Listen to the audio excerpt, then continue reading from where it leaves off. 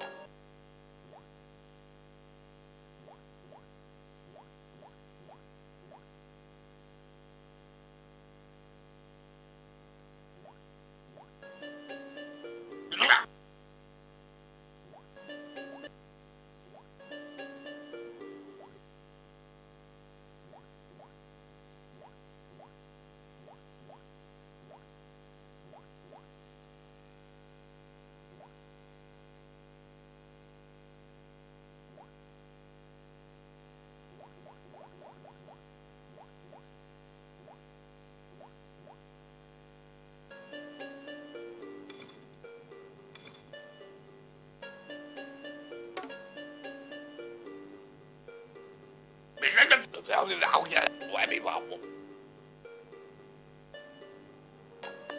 Để đứng lên cho phục bệnh